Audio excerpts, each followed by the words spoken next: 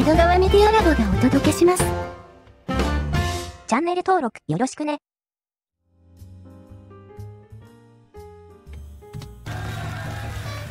はいどうも、ご視聴ありがとうございます。今回はですね、こちら、渓谷の国内の話題なんですけれども、渓谷映画館のマナー違反客に非難殺到という話題でございます。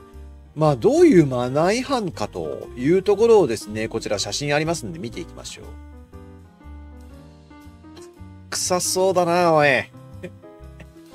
臭そうだね。えー、じゃあ記事の方を見ていきましょう。くーちゃんお願いします。映画館で前の席を足で叩いたのに続き、裸足を上げた男性の行動が公開され、眉を潜めている。21日、あるオンラインコミュニティにはあるリクライナー映画館で後部座席男性の迷惑行動で被害を受けた A 氏の話が上がってきた。リクライナー映画館は背もたれが調節でき、一般館より広くて柔らかい座席が備えられた上映館だ。A 氏は後ろからずっと足でポンと打つ感じがし、左の女性も感じた。最初は我慢していたが何度も蹴られるので、ガールフレンドと一緒に来た後部座席の男性に蹴らないでほしいと要請したと伝えた。しかし男性が何がですか？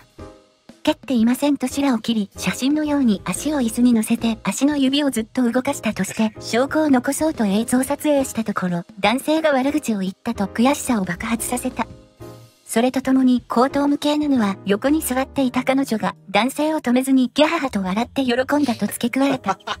実際に公開された写真を見ると A 氏の頭の後ろにある男性が両足を座席に乗せている姿だ。ネチズンたちは、拳を呼ぶ行動だ。これはひどい。どんな教育を受けたらこんな非常識な人間に育つのか。親の顔が見てみたい。顔を公開して全国の映画館入場禁止にするべき。似た者同士でお似合いのカップル。あんな人たちのせいで映画を見る間ずっと気分が悪くなっただろうと興奮した。あるネチズンはあんなめちゃくちゃな行動をする人がいれば映画館職員に直ちに注意することができれば良いという希望事項を伝えたりもした。確かにね。もうなんか写真から匂いが伝わってきそうな感じですけれど。それではですね、こちらに対して、えー、警告の反応いきたいと思います。はい。えー、それではですね、一人目。映画館入場禁止、ブラックリストにアップしないといけない。1996、3。普通あんな子たちを見ると親がいないか親が犯罪者だよ。1503、50。そのカップル絶対別れてはいけない。ゴミ同士でお互いに助け合いながら生きていかないと。1119、4。このようなとんでもないことを一日に何回も基地を通じて見ることになる。一体人格教育をどのように受けて育ったからなのか国が狂っていく。107、1。家庭教育を受けずに育った安っぽい奴は刺しても無罪にならないのか？人じゃなくてゴミだから人権もないしゴミ処理費用節約していいじゃん。51、0。平気だな。あのカップルも身の上を暴露させて社会生活地滅ぼしたらいいな。わら、40、0。コメントも過激だね。産業教育隊が必要な理由だ。新林ホラ殺人鬼も産業教育隊で1年だけ準化教育を受ければ新しい人になる。こんな良い制度がなくなるなんて。25、1、新林ホラ殺人鬼警告内で今話題の無差別殺人事件。はい。ということでね、産業教育隊。これは、あの、軍事政権のチョンドファン政権の時にやってた共産主義者をまとめて構成する、まあ、施設だったり、機関だったりする。で、まあ、もう一個のこのなんか殺人鬼ってのありますけど、今、渓谷で絶賛、あの、炎上中というかですね、注目を浴びている、うー事件ですね。まあ、かなり人が亡くなってるんで扱いませんけど。うん、はい。C 国で起きていることがなぜ朝専属じゃないの ?21。いや、警告人ですよ。はい。えー、じゃあですね、チャットの反応いきましょう。はい。えー、じゃあ上の方からいきますかね。えー、っと、マナーなんて渓谷にあるとでも。渓谷でマナー違反って、わら、病院運転、わら。くっせー。ゲー絶対やだ。座高が高くて頭がでかい。映画館で小声でストーリー話すやつはちねえって歌ったな、わらわら。やらんやろ、あけいこっかなっとく、わら。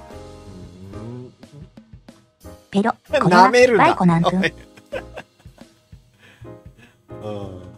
せんべいでも食べたか?と思ったら、見るからにブーンと匂ってきそうな。警告のマナー違反多すぎて何から突っ込んだらいいのやら。お家でやってるから我慢できないんだよ。なんだ DQN じゃねえか。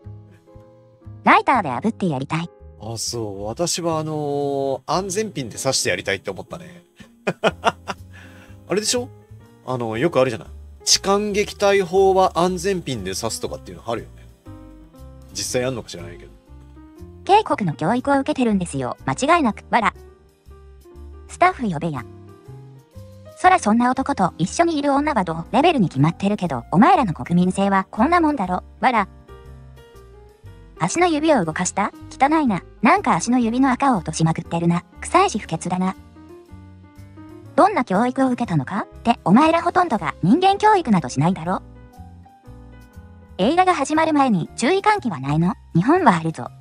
まあでもこれ、ああ、すまあし、他人に迷惑をかけないという文化がないんだから、しょうがないだろ。その系文化が世界から嫌われてるんだよ。知ってるか？お前らにきちんとした教育やしつけを受けたやつなんか皆無だろっての。国は前から腐ってますよ。まともなふりすんなよ。わらわら。ごめん匂い、こりゃまた匂い、あーくっさ。